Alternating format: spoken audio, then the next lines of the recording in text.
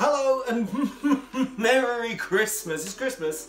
It's getting on for halfway through December and uh, welcome to Friday Night Cocktails with the Deerings. And uh, we've got two spectacular Christmas cocktails. Going to do one this week and one next week. Um, uh, partly because, you know, that way we can drink right through to the big day itself. But also because one of them has ingredients you might need to kind of source over time. So we'll make that today, and then you can get, uh, you know, go on some kind of off license quest. I don't know. I don't know your life um, to get this one, and the other one takes preparation. So we'll prep that one and do it next week. See what I mean? Or shall I just flap my hands backwards and forwards a couple more times? So there's two different Christmas cocktails. And we start with the one we do next week, and I'm not even going to tell you all about it. I'm just going to tell you what to do, and then next week we'll recap, and then you'll see. Okay, so what I'm going to do is take some lovely posh um, raisins. They're, they're, jumbo ones, and there's I think there's cherries in there. So it's basically raisins and sultanas, uh, but nice ones. Jewel raisins, cherries, no candied peel, for goodness sake. You don't want it to taste like a Victorian mince pie, and she hates candied peel. So uh, we're not going to do that. And obviously, if you hate dried fruit, don't do this. But yes, it's a really, it's genuinely a good thing. So in take a receptacle, you could do it in a tub. Nice to have something with a lid because you're going to keep it and it's basically sort of a drink. But we're going to use an old uh, jam jar because we've got a bunch of them around and they're nice. And I'm going to put a load of these in there. And literally about a second before we started um, filming, Julia pointed out that if I fill this thing up and then cover them with liquid, then they'll get bigger and it will just smash and we'll have ourselves a uh, yeah, delicious, festive broken glass cocktail. So we're not going to do that. I also use this lovely bowl with a scoop, but I, then I just use my hand. So those are in there. And this got um, cognac, Co cognac, cognac. It's very similar to how my son um, pronounced the word honka his first autumn. It's quite harsh to remember that when he's coming up 16, but there we are. Quite nice one. Just a little bottle, half bottle essentially, of Remy Martin um, Fine Champagne uh, cognac. You know, it's just fancy brandy. It's fancy brandy. But and you can do this with any brandy, but it's supposed to be a treat. So yeah, I mean, I looked for one that was on offer. That we didn't break the bank, and we can have a brandy afterwards. But you know, it's it's Christmas, so do this if you can. If you've got a couple of quid to throw at it, do it and do it right, and then you can have a nice treat. Um, I'm covering that up with the uh, cognac, cognac, and I'm going to go right to the top and give it an inch. And then hopefully, if Archimedes is right, and that's not my nickname for you, by the way, I just mean in terms of physics, um, that they, they will drink up the, uh, the, the, cognac and fill up the uh, jar, and then we'll have a fantastic um, sauce for the basis of next week's champagne cocktail. So um, that's going in the fridge in a minute, and uh, those will go back in the packet I threw away. So uh, we'll do that, and uh, at some point, either to celebrate or if we get in trouble on a mountain, we can have this brandy.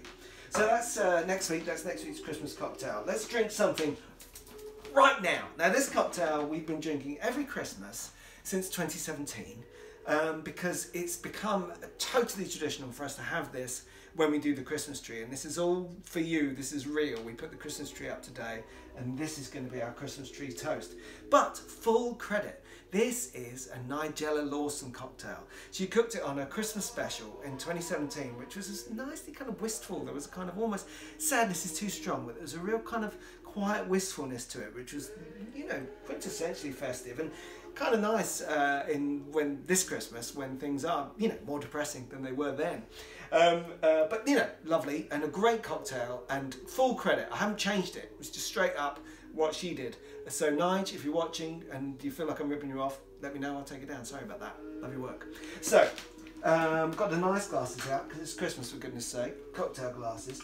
There's three ingredients in this one, and you and it's one part of each. So it's incredibly straightforward. You just got to have them. So you're going to have some uh, Chambord, the uh, um, raspberry liqueur. Mmm, Chambord, merci. Um, even harder to come by, creme de cacao blanc, which is a, a transparent um, chocolate liqueur, essentially. Creme de cacao blanc. And uh, depressingly, as you can see, I say quite hard to come by, and it's nearly gone.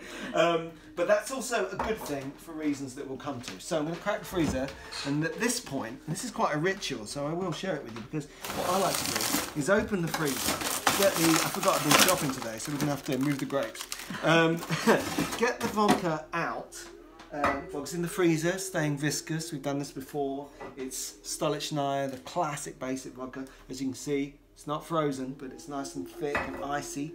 And uh, I'll get some ice out so I can make this thing up. And just while I'm doing that, people who know how much energy costs are going, shut the freezer, shut the freezer, shut the freezer. I'm going to stick the glasses in just to chill them off and uh, make them chill down a little bit now. So, now we're going to put some ice in the shaker. I've got ice, I didn't get any ice ready in the first place because we've got these great um, ice trays that actually work.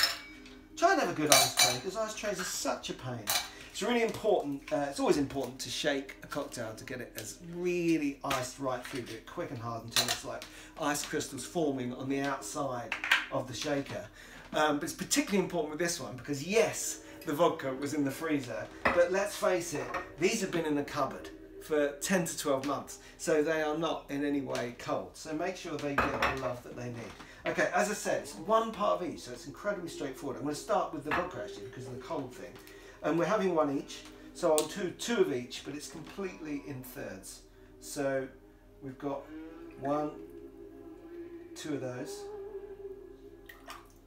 And we've got two of, uh, I can't open this, there we go, we're in the Chambord. Two See Frank Sinatra's giving it the silent night. One. This is our Frank Sinatra Christmas album, and it's so good.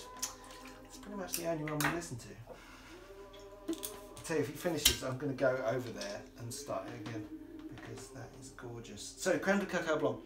Um, it's just, I suppose, is it chocolate? It's chocolatey, cacao. I never know when people say use cacao, cacao nibs, whether that is the same thing as chocolate or some kind of chocolate based ingredient, but somewhere around there. Right now, this needs to get cold and uh, I need to shake it up properly. So just wait there because I'm literally going to drop my needle um, in a second. Stay there, right back actual vinyl you're listening to here. This is Frank Sinatra giving it the, the uh, it's going to go now, so just drop it wherever it lands. I just remembered how much I talk. I was hoping we'd get to that silent night, and we did, but I wanted to get to it when I've made the drinks.